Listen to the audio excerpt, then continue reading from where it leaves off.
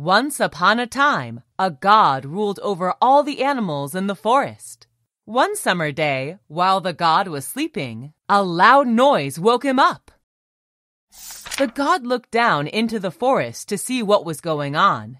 He saw a leopard playing a drum.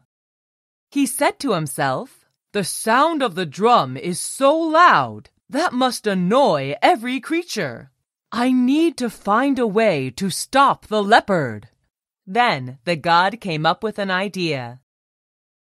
The god went to visit the leopard in the forest. May I play your drum? the god asked. The leopard shook his head and said, No, no one can touch my drum. The god asked the leopard several times, but the leopard's answer was always the same. The god decided to wait until the leopard went hunting. Then the god would get the drum. But the leopard did not go hunting that day. The god went to ask the other animals if they could help him to get the drum. The python agreed to help the god. He went to talk to the leopard and said, Leopard, your drum is beautiful. Can I borrow it to play at my family reunion?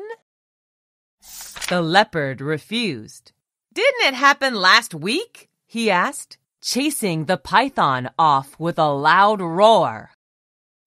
Next, the elephant offered to help. He was confident that the leopard would listen to him.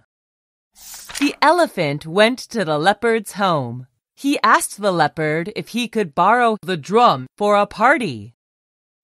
The leopard did not believe the elephant. He said, I will bring the drum to your party tomorrow, but not now. Then he growled and chased the elephant away. This time, a tortoise offered to try and get the drum for the god. All the other animals laughed at the tortoise, but the tortoise did not care and went to find the leopard. When the tortoise found the leopard, she said, I think your drum is too small to join our music festival tomorrow night. The leopard replied with confidence, No way! My drum is the biggest one in the forest. The tortoise smiled and said, It is because you have not seen the god's drum. It is much bigger than yours. Even a leopard can sit in it. Angrily, the leopard decided to prove that his drum was bigger than the god's. He went to sit inside his own drum. The tortoise had already prepared a big lid in advance. She trapped the leopard inside his drum. Then the tortoise rolled the drum to the god.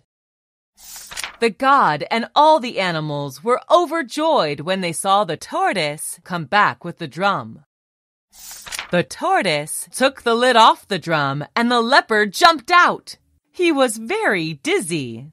The leopard felt that the drum was more trouble than it was worth. He decided to go away. After the leopard was gone, the god saw that the tortoise had been hurt while rolling the drum to him. The god felt very sorry for the tortoise.